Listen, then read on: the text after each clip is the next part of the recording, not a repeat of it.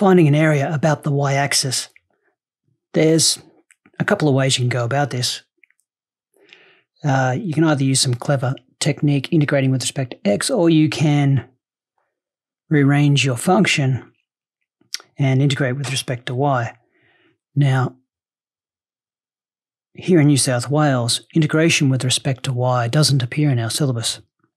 It's a little contentious because there are two questions that appear in what's called the topic guide, which again makes no mention of integration with respect to y. That could be done by rearranging the function to one in terms of y and integrating with respect to y. I will do those two examples here now and uh, show you uh, multiple ways to answer those to answer those questions and, and to show that uh, doing it with respect to y is uh, is not necessary. All right, so let's introduce that method now. So one way of finding such an area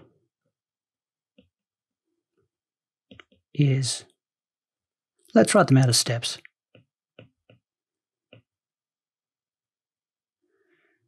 Uh, one, rearrange function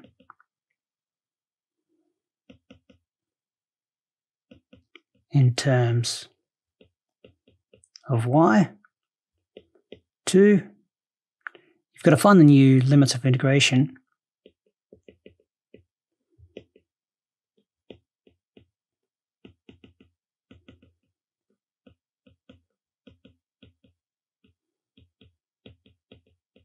So originally they would have been in terms of x, and you need to find out what they are in terms of y. And three, finally, you integrate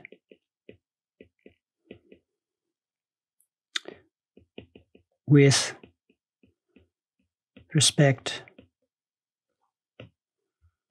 to y. Right, so example number one. So the first one in our topic guide is area bounded by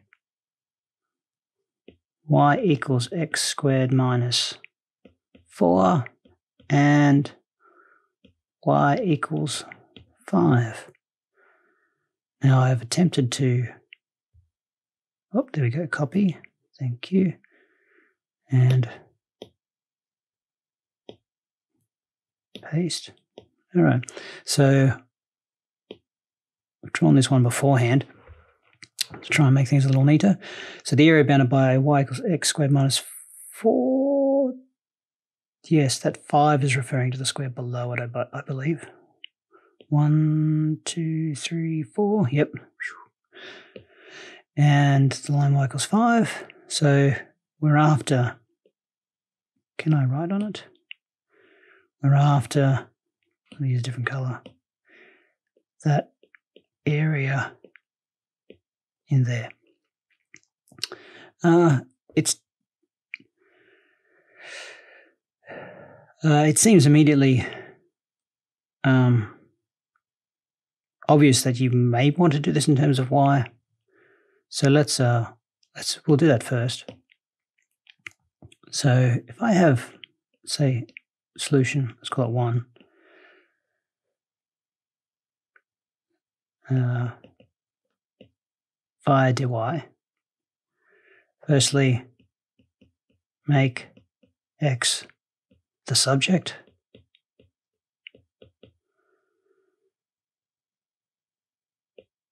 Of, so I've got y equals x squared minus 4. So that'll be x squared equals y plus 4, taking the 4 to the other side. x equals the square root of y plus 4. Now I know what you're thinking. I've dropped half of my solution, but I don't really want it. I, what I've got now, oops. What I've got now is something like this.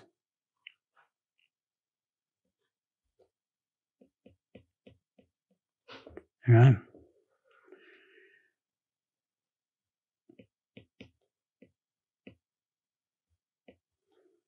Uh, yeah.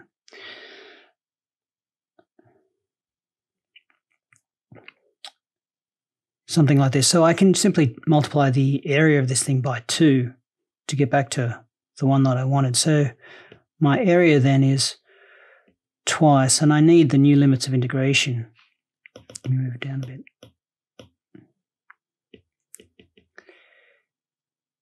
It's oh, actually let's go all the way left.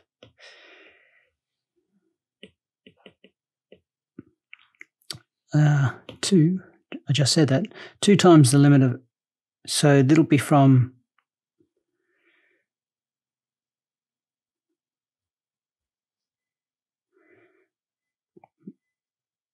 This is minus 4. And of course, it goes up to 5, minus 4, of my new function now, which is y plus 4 to y. 2 times this thing. Now, this may uh, may throw, especially a, a two unit student, this looks like I have to invoke some kind of function of a function mojo. And normally I would, except the fact that this is just a plain y and a constant. Uh, and so it, it is simply, you know, the add one to the power and divide by it because the function in here is so simple. But that may not be easy for many students. Uh, I'm going to say 2 by 2 is 4 on 3. And then I'm going to have 9 to the 3 on 2. And then that'll be minus 4 plus 4. So I get a 0. Don't know why I put that in brackets.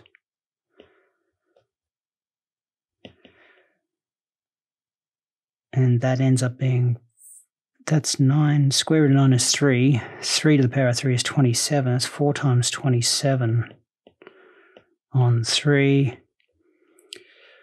Uh, 34 nines. 4 nines are 36. And we have an area. All right, so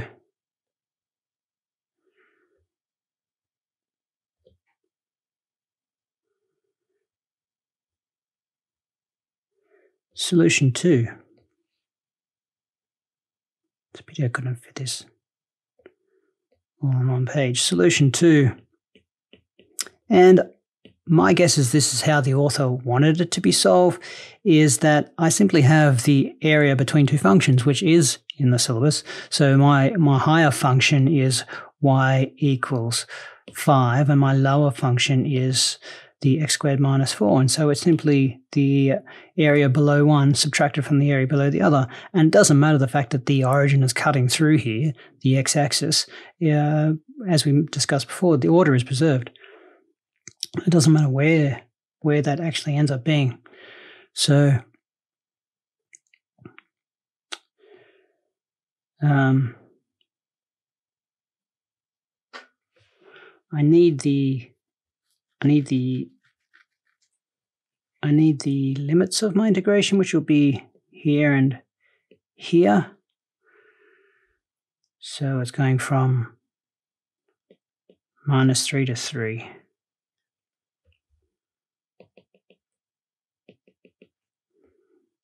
And so this area then simply the integral from minus 3 to 3 of the top function, which is 5, minus the lower function, which is x squared minus 4,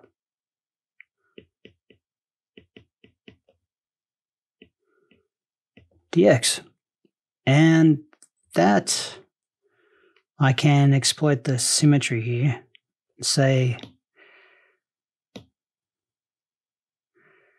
that it's two times the, oops, back to the pen, two times integral from naught to three. And then I can go five minus, minus four is five plus four, which is nine minus x squared dx. And that thing is quite simple to integrate. Less likely to throw off students compared to this thing. Not that it was particularly hard either. So can I integrate this thing? So it equals 2 times uh, 9 becomes 9x. And that is x to the 3 on 3. And then I've got to go from 0 up to 3. And I've got two lots of, now I'll have 3 nines the 27 minus that thing cubed on 3 uh, minus nothing. And that's 9. 27 minus 9 is 18. And 2 times 18 is 36. Unit squared, and it's the same answer. Hurrah! Everything is right with the world. So I, I think this is the way that this was intended to be solved, right?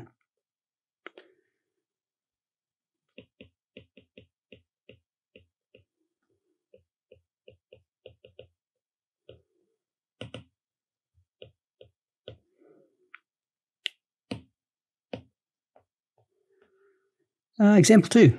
Let's look at the second one. Now, the, it's important to note that the second one actually follows the first one, and that uh, looks suspiciously similar. It is looking across. It is find the area bounded by y equals x squared, y equals 4, and y equals 9. And that's this one here. Oops.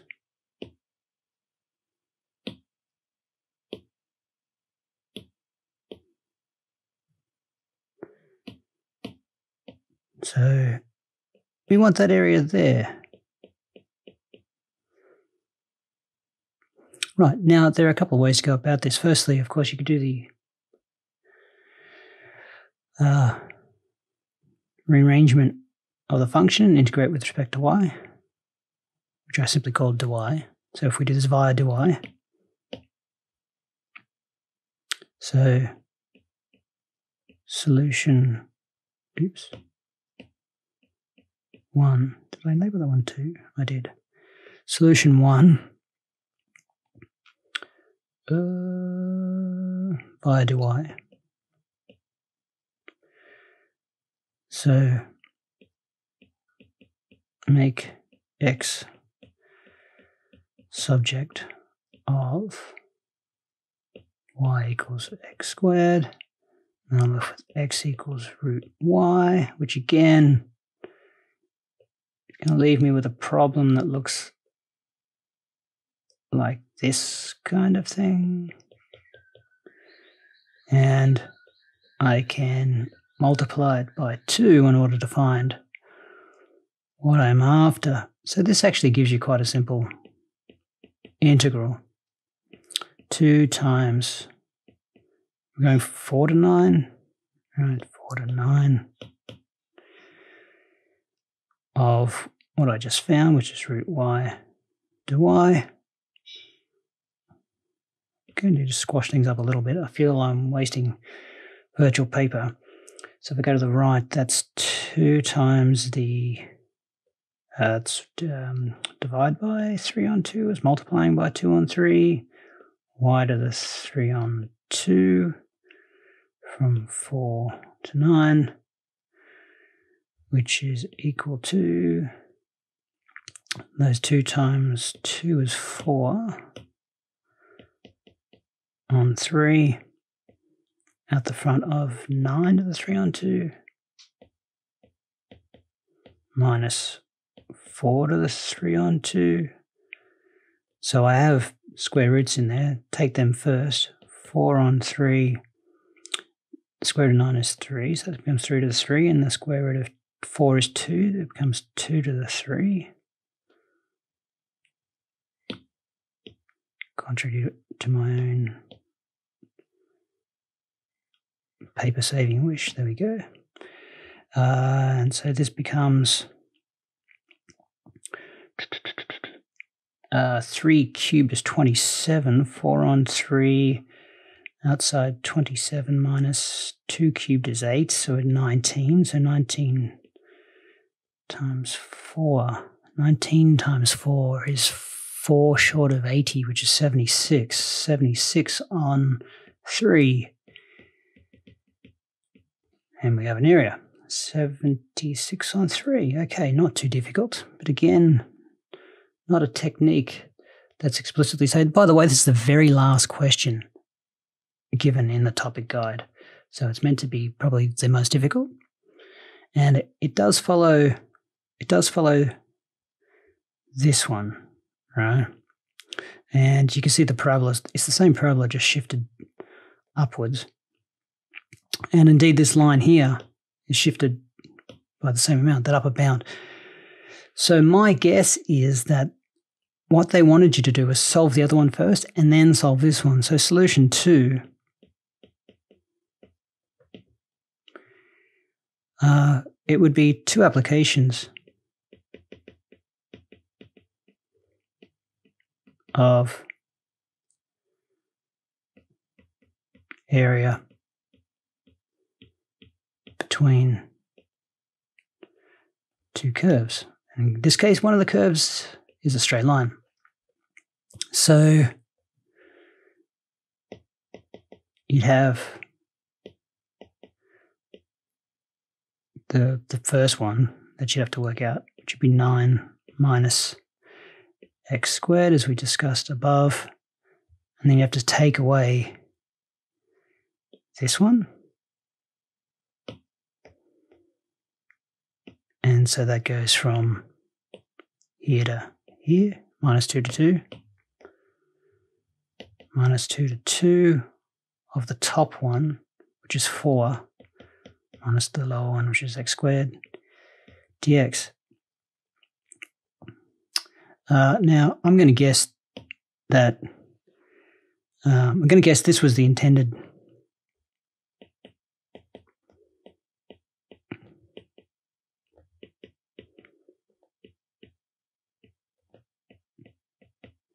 This was the intended solution given that it follows example one and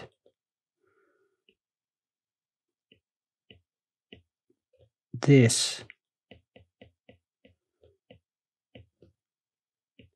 has already been found.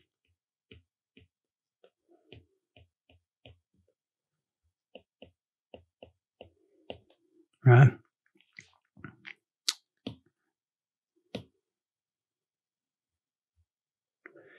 Uh, if it wasn't the case, then it's not the simplest way to go about uh, answering that. Now, I'm not going to.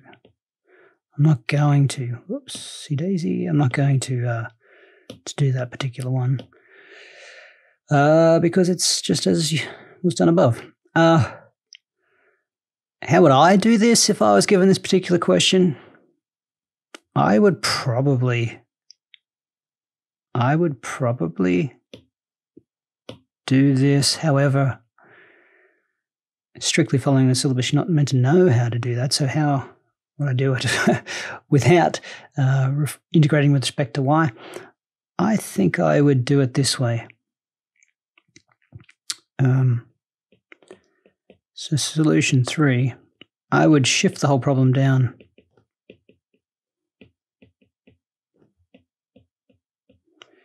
down by 4. Now, the, the topic guide does talk about uh, this idea of it has the words translated vertically. So perhaps this is what they meant for us to do in order to solve this particular problem. I don't know. Um, yeah. We don't want that in my notes. So shift the problem down by four. So what does that look like? Well, I've got that one here.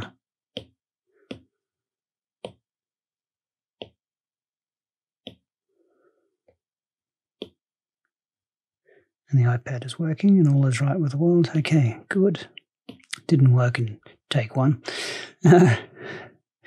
so um, if I shift it down, then I've got the area of this rectangle here, right?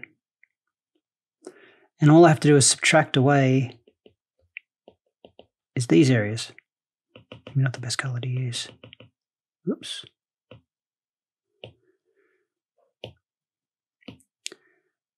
So it's the area of the purple one.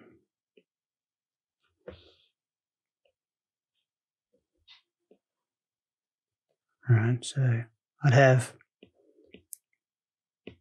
A1.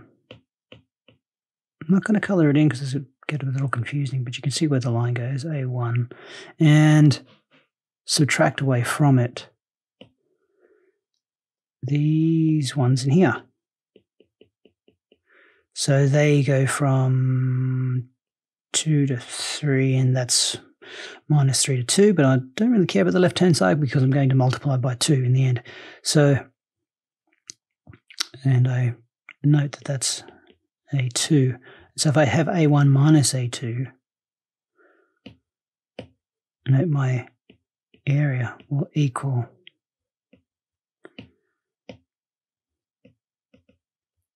where's purple? A1 minus A2. And I know that I can get there if I say 2 and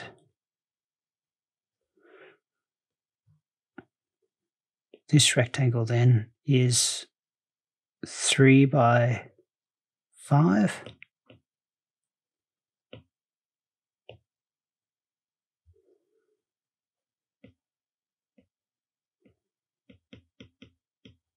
Which is 15. And then I want to subtract away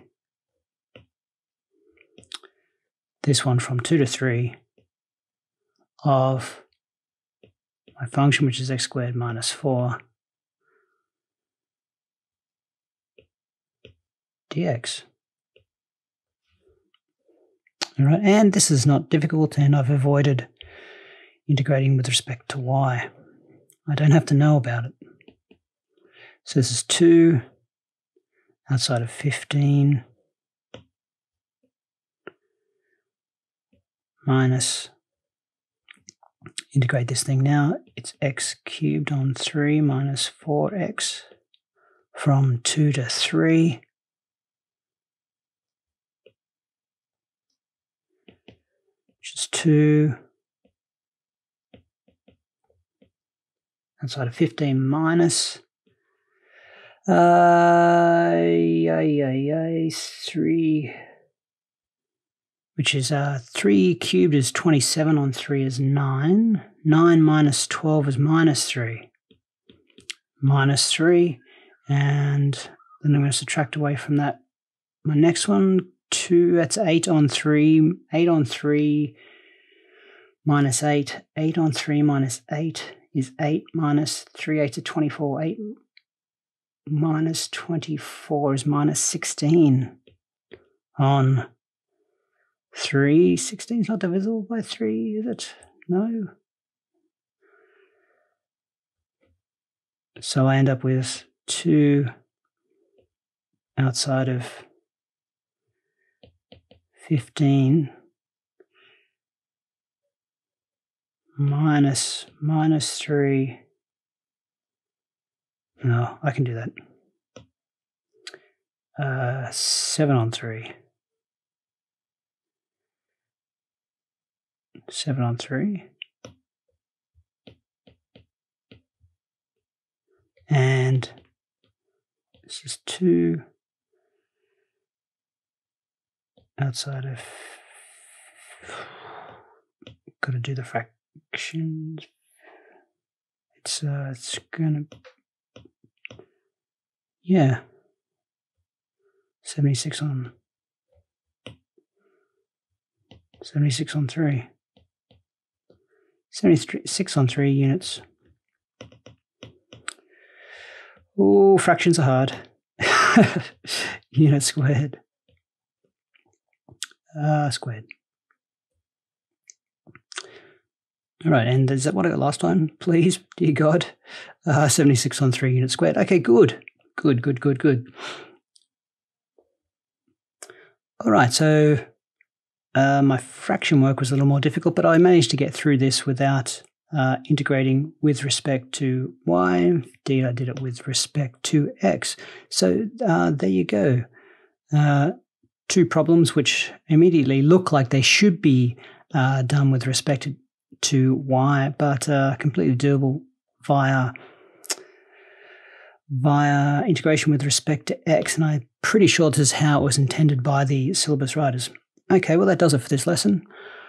I am Keith Johnston. Thank you for watching.